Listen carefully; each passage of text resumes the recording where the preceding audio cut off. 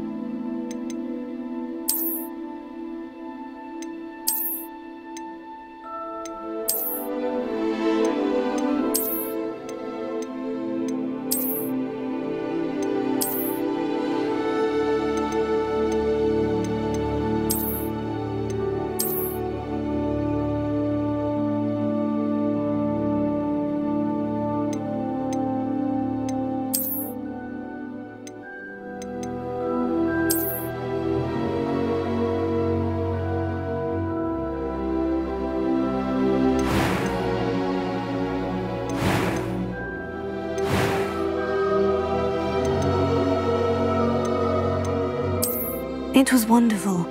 I believe I'm really going to enjoy this class. I am indeed a student, but I could very well be able to help you. I'm eager to get to Hogsmeade. That was quite something. A few cobwebs and some dust. Nothing to be concerned about. I am indeed a student, but I could very well be able to help you. I'm eager to get to Hogsmeade. That was quite something.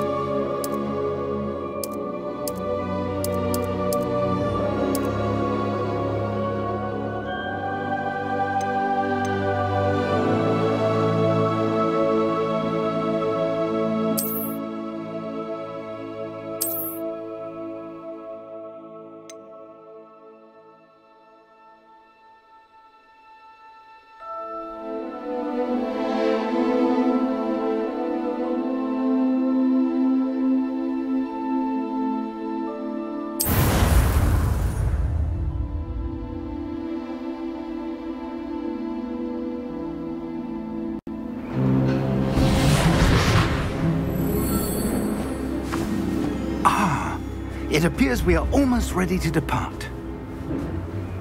It's a pity we didn't have a bit more time to spend on spellcasting. I presume you've been practicing the spells we worked on. I have, Professor. Well, I'm quite sure I've never seen anyone take so quickly to a second-hand wand. You'll be a force to be reckoned with when you get your own. Thank you, Professor Fig. I appreciate you working with me before the time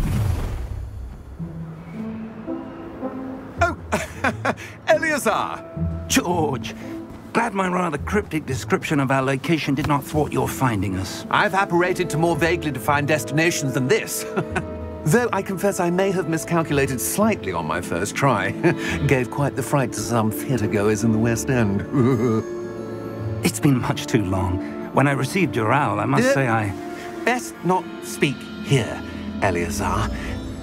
Of course. Why don't we speak en route to Hogwarts? We have a start of term feast and a sorting ceremony to get to. Wonderful idea! As long as your young charge here doesn't mind me tagging along. Not at all, sir. After you. Ages since I've been to the castle. Would be good to see the old pile of rocks.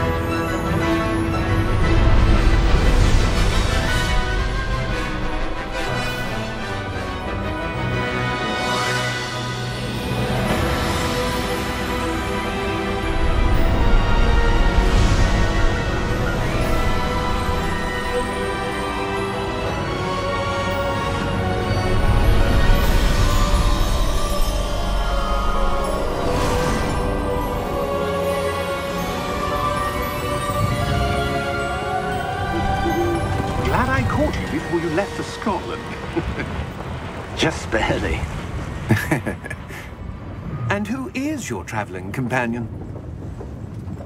A new student. New? Yes, sir. I'm starting school as a fifth year. How extraordinary. It is indeed. None of the faculty has ever heard of anyone being admitted to Hogwarts so late. Nor have I. Of course, as the other fifth years will have been honing their magical skills for four years now, the headmaster asked if I could get our new student up to speed a bit before the term begins. Well, You couldn't have asked for a better mentor. Professor Fig is not only an exceptional teacher, he's also a remarkably intuitive and gifted wizard. Mr. Osric is prone to flattery. I dare say it's one of the reasons he's risen so far at the Ministry. Have you seen this? I have. Opinions differ as to how great a threat Ranrock really is. Although I've yet to convince my colleagues at the Ministry, I believe he is a significant threat. And it was your wife, Eleazar, who alerted me to his activities months ago. Miriam? How? She wrote to me about Ranrock before she died, wondering what the Ministry knew about his activities.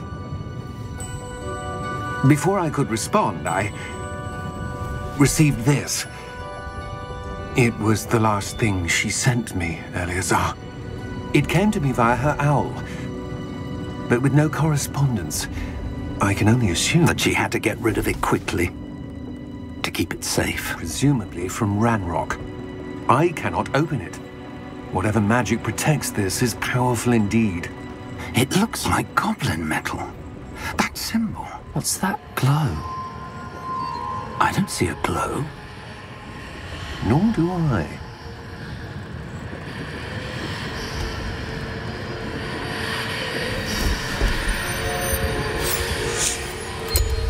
Merlin's beard. How did you... Wait! We did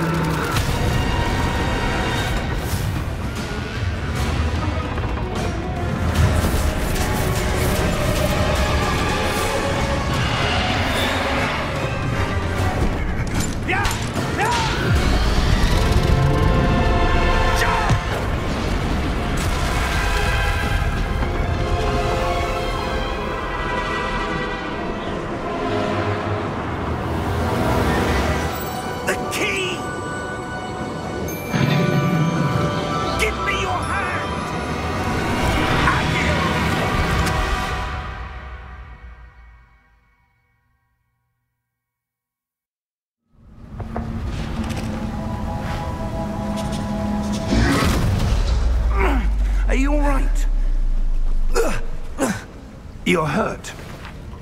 Perhaps a bit. Take this. It's Wiggenweld potion. That stuff will right you in a second.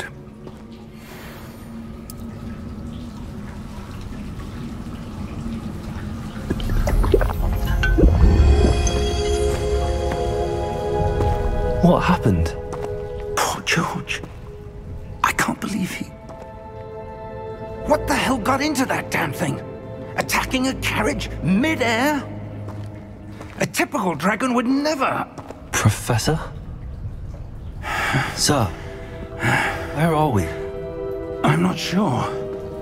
But that key you discovered was clearly a port key. Port key. An item enchanted to bring whoever touches it to a specific place.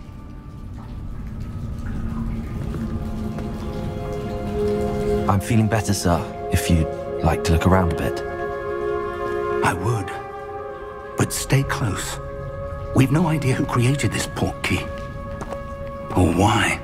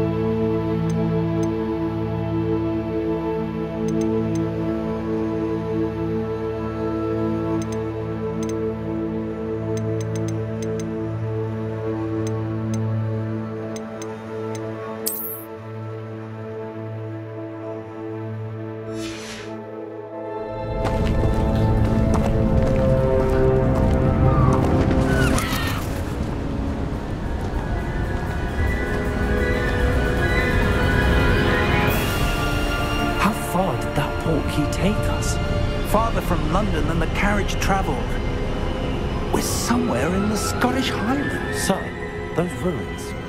Do you The think... portkey was meant to lead us there? I do. This has not been the day either of us expected. But Miriam sent that port key to George for a reason. And I believe that she, and now George, died in pursuit of whatever it was meant to lead to. If you're sure you're all right and wouldn't mind indulging me, I'd like to have a look around. Absolutely, sir. Good. Let's see if we can find a path, however faded it may be.